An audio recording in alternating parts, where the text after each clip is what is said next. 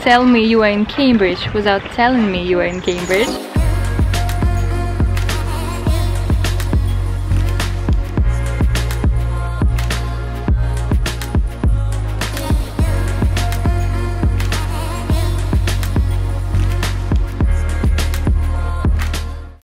Good morning everyone, welcome back to my channel. Today we are going to Cambridge. I'm so excited, can you tell? Because I've never been to Cambridge before and the architecture there is just stunning. And we've been way too long in the lockdown, so it feels so nice to finally pack our bag and go on a trip.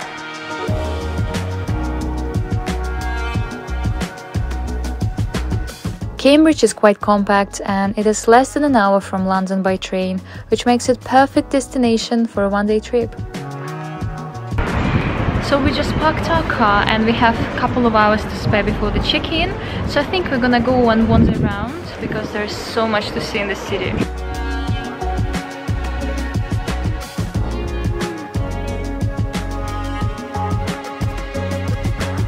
You know me, I love trying new food, so I think we're gonna start exploring Cambridge by trying the famous Chelsea buns. Fitzbillies Bakery is a special one. It was established in 1920, so they celebrated 100 years birthday last year in October. They've been making buns and bread for a century now. They've seen two world wars, the Great Depression, competition from big supermarkets, and two bankruptcies. And despite all of that, they're still here. It looks like a cinnamon roll to me. I can smell cinnamon too. There are some raisins as well, which I don't really like. Let's try it.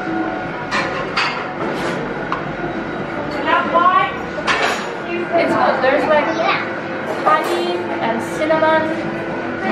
Yeah, you should definitely put this place on your list.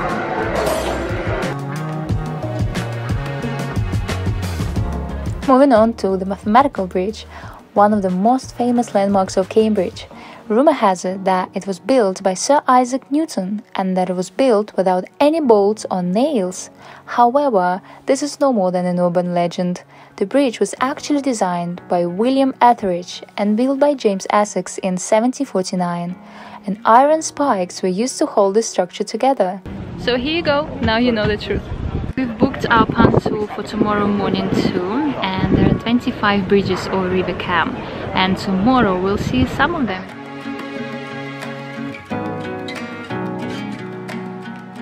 This is one of the most distinctive public monuments in Cambridge, the Corpus Clock. This horrible monster sits on top of the clock and pulls time forward, eating it.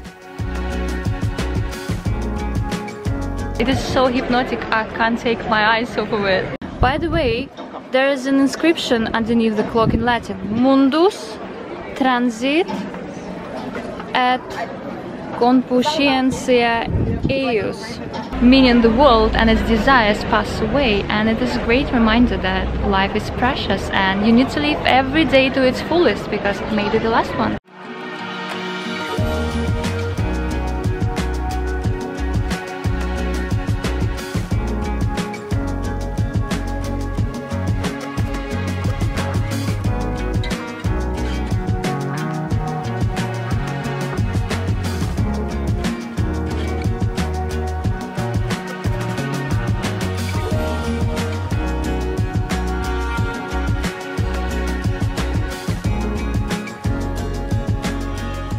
We found this cute little hot dog stand and I have to say the hot dogs are really nice.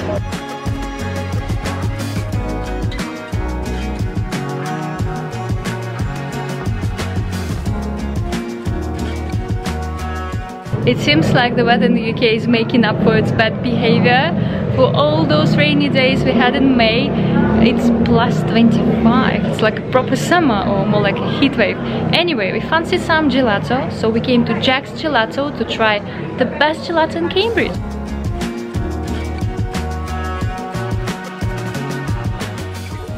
Right next to Jack's Gelato stands this iconic pub, Eagle.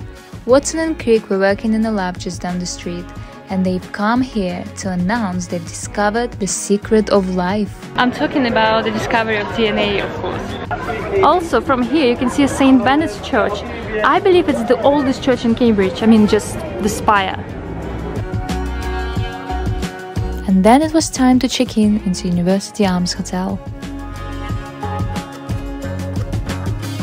So we've just checked in into our room. We stay in, in a suite. So spacious, definitely what we need with two kids. And this is the view from our room. How nice. And on the right we have tea and coffee station and the bathroom. It's gorgeous have a shower here and this beautiful rolled bathtub. Oh my god, this room is insane. I'm speechless, you guys. I don't even remember the last time I had a bath. Oh, actually, I do. It was in October last year when we stayed in the Brook Green Hotel. I'm a busy mom, guys. I only have time for a quick shower.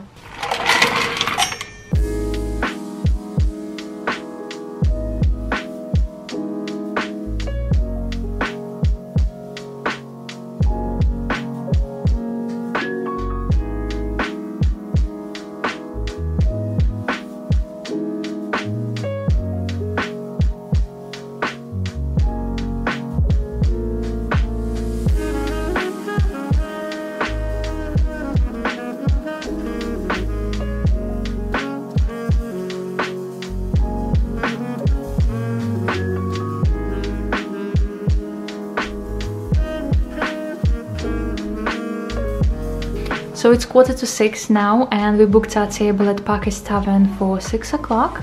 So we off to dinner and this is my outfit, just white t-shirt, linen blazer and a pair of jeans.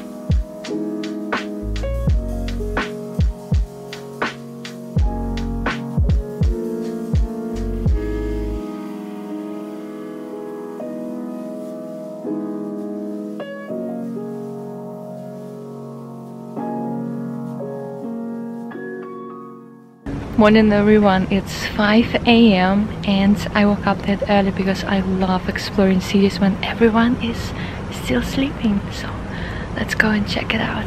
My, this is what I love about my morning walks. It's only me and this beautiful architecture.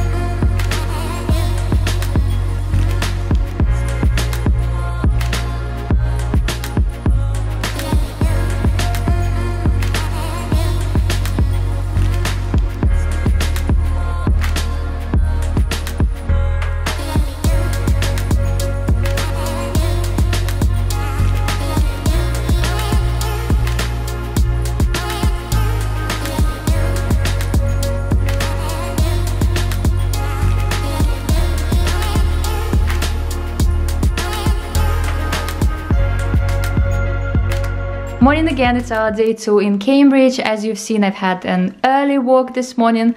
Then we had breakfast and now we're off to the quayside because we have a panto booked for 9.15. And that's my outfit for today. I've been eyeing these bikes for a while now, but unfortunately I'm not that good at riding a bike. So I guess it's a pass for now.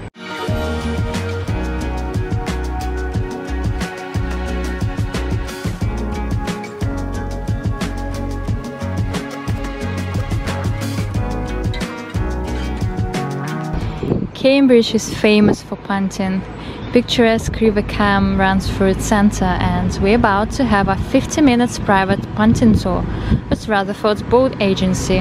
I think it's very classic thing to do in Cambridge to have a tour in this flat bottom boat to see all its hidden spots because the only way to see the backs of the colleges is only by punting.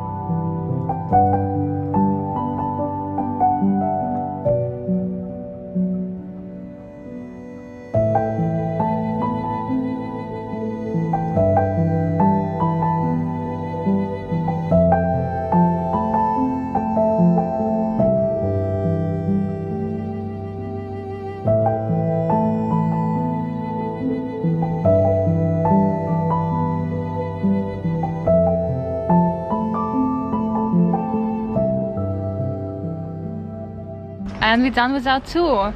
Kids, did you like the tour? Yes! Yes! did you like the tour?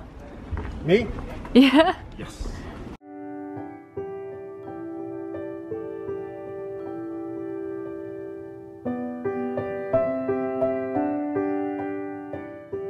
Okay, so now I'm about to show you the best view in Cambridge. This is world famous panoramic view and to get to see it you have to climb 123 steps of the University Church Tower.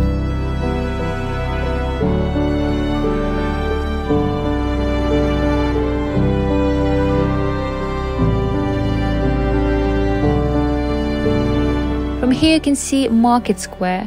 This bustling market in the center of historic Cambridge dates back to the Middle Ages. Here you can find fresh fruits and vegetables, books, clothes and street food. The ticket price is £6 and with the view like this, it's worth every penny. This is the department of magical gifts, Cambridge's only dedicated shop selling official Harry Potter merchandise.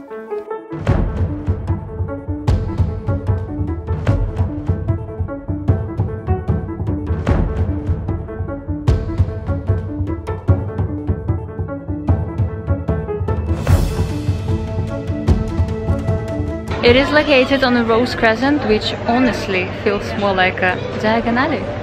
Cheers! Mm. It reminds me of those Butterbeer we tried in uh, Warner Brothers studio in Disney. It's kind of the same.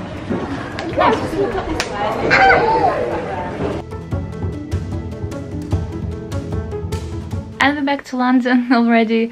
I really enjoyed this trip. Of course, I would love to visit some of the colleges. Unfortunately, due to restrictions, we couldn't do it this time. Hopefully, we'll come back when it's back to normal. Also, I know there is some kind of weird competition going on between Cambridge and Oxford. I've been to Oxford many, many years ago, so I don't really remember anything from the trip. But are you team Oxford or are you team Cambridge? Let me know in the comments. Anyway, that's the end of our trip to Cambridge and I want to say huge, huge thank you to University Arms Hotel for having us. Such a lovely place to stay. I hope you enjoyed this video, consider subscribing for more and I'll see you soon. Bye!